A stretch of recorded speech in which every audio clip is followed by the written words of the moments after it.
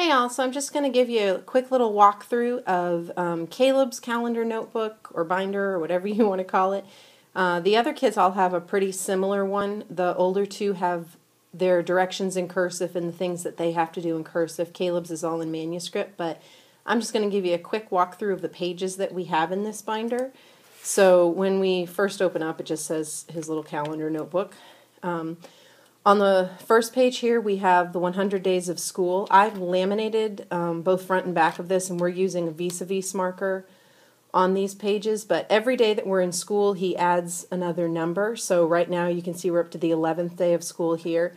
At the bottom of the page for the older kids, um, what we're doing is we're taking the number. So in the first case, it would be, in right here, it would be the number 11 plus what number it takes to equal 100. So it would today's would say 11 plus 89 equals 100.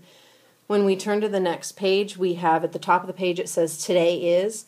And what we're doing with this one is like, so yesterday was Monday, so he circled Monday. Then we also talk about what will tomorrow be, what was yesterday, and then we write down the date here. This one says, um, obviously it was August 20th, 2012.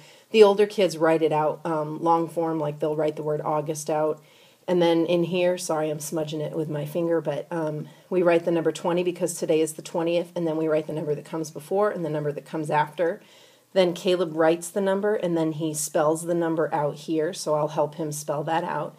When we started doing this, it was 9.30, so he filled in the clock for 9.30, and it was 61 degrees outside, so he just did that. Um, we can wipe these off really easily with a damp cloth, so we've just been using the vis-a-vis markers on this. Um, the next page we have, again, this is another page that's laminated in here. It's our 11th day in school, so that's 1 in the tens place, 1 in the ones place, which is 10 plus 1, and then we just wrote it down as being 11 cents.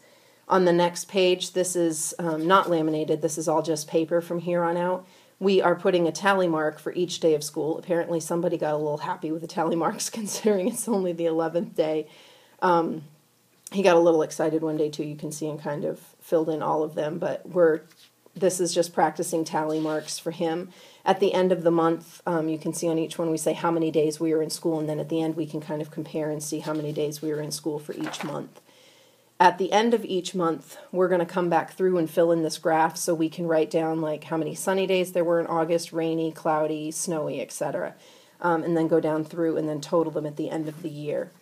And then throughout the year, he's going to be writing his name um, again, Caleb's doing this in print and the other kids are doing this in cursive. And then when we turn the page here, you can see um, he traced the name of the month and then he started out looking at the calendar to see when the first of the month was, and then he's filling out the dates as we go along. And on the bottom, he chose to do a pattern. So he's going red, yellow, yellow, I believe is his pattern right now. I can't look quite right um, to see, but every time he fills in one of the numbers up at the top, he colors in the star down at the bottom. So he's doing he's he chose to do a pattern on this one. And then for the weather every day he looks outside, fills in what the weather was for that day. At the end of the month we're going to get down to asking the que- the questions of what weather there was the most of, what weather had the least days, were any the same, and then circling the season. And again, this just goes through for every month. We have the same the same format you can see and then that's basically it. It's just pretty much it's all in a um, half inch binder. Um, it all fit in there pretty well. And again, I only laminated the first two pages. You can also drop them into a sheet protector and use a dry erase marker. We don't use a dry erase marker just because our kids get really frustrated because it wipes off really easy.